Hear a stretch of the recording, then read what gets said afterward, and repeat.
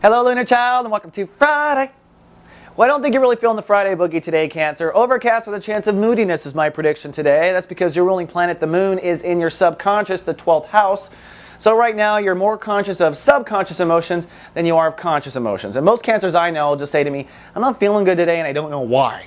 And the cancers sometimes are overwhelmed by emotion. They don't understand where it comes from. Well, right now, it's coming from your deep subconscious. You might have this playing out in dreams. You might find yourself cranky, and you might find yourself wanting to project on other people. So if something really makes you mad or really makes you sad, you've got to ask yourself, is this a pattern in my life? Because if that's the case, the universe is highlighting a weed in your soul garden. Take note of it. We're going to pull that damn thing at some point.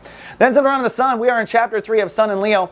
This month, Cancers are working on soul capital. What are you worth? What is your self esteem worth? What kind of money do you deserve? How productive do you think you should be on the planet? Are you giving it all away, working your butt off for nothing? These are all the questions of soul capital. And now that we're in chapter three, it's time for cancers to start coming up with a beta version of what your new price tag is going to look like. All right? And today, with Jupiter ruling the day, the universe is saying to cancers, think outside the box.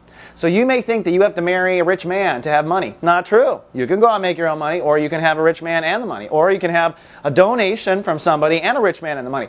There's a lot of ways to raise your soul capital, and the universe is saying to cancers, get outside your box, think outside your box, because by understanding a plan B, plan A will get more concrete.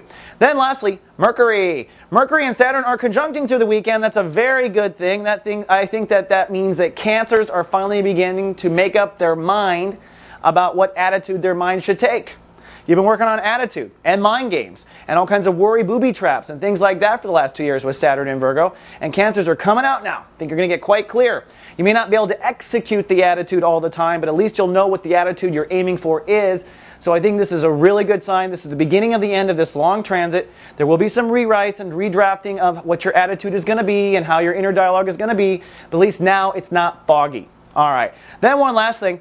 We've got the Feng Shui guy live on the mothership today. Another episode with Ariel Joseph Town. Ariel's getting really deep on reorganizing your space and your workspace so that it's set up for your success. So the energies in your home, which is very important to a Cancer, and even in your cubicle at work are set up for your success. And this success for you this month is raising that soul capital. So check out Ariel Joseph Town. I think he'll be of great service to you, Cancer. All right, that's all I have for the weekend forecast. I'll see you on Monday with more. Live, love, be. So